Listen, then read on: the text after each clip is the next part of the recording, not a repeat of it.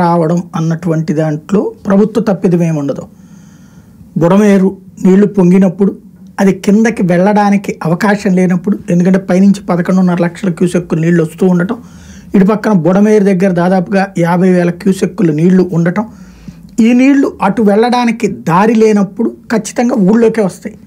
వెలగలేటర్ వెలగలేరు అనేటటువంటి ప్రదేశంలో ఎప్పుడో డెబ్బైలో కట్టారు రెగ్యులేటర్. ఊళ్ళోకి నీళ్ళు రాకుండా అక్కడ ఆపడానికి ఒక ఏడు అడుగు మేర నిలబెట్టచ్చు అక్కడ నీళ్ళు.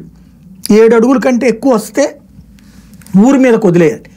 అయితే దాన్ని అక్కడ వాటర్ని తీసుకెళ్ళి ఆ పక్కన ఉన్నటువంటి పోలవరం కుడికాలంలోకి తీసుకెళ్ళి పోసేసి దాన్ని సముద్రంలో ఏది కృష్ణానదిలోకి తీసుకెళ్ళాలన్నటువంటిది గతంలో చేసుకొచ్చింది. అయితే ఎప్పుడైతే అది అది రాజశేఖర రెడ్డి హయాంలో పూర్తి చేసిన పని అది. కానీ సమస్య ఎక్కడ వచ్చిందంటే కృష్ణానదికి వరద వచ్చి బుడమేరుకి వరద వచ్చినప్పుడు కష్టం. మిగతా టైంలో ప్రాబ్లం ఉండదు.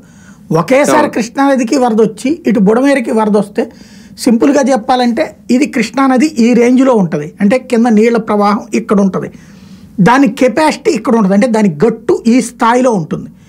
ఈ మధ్యలో ఉన్నటువంటి ఈ బుడమేరు కాలువ అంటే పోలవరం కాలువ వెళ్ళి ఈ మధ్యలో ఉంటుంది. అంటే ఈ నీళ్ళు ఇక్కడ ఈ లెవెల్లో నీళ్ళు ఉన్నంత వరకు అంటే కృష్ణలో ఈ లెవెల్లో నీళ్ళు ఉన్నంత వరకు ఇట్లా పడిపోతుంది. అదే కృష్ణ నీళ్ళు ఈ పైకి వస్తే ఈ నీళ్ళు ఆ లోపలికి ఎట్లా వెళ్తాయి? వెళ్ళక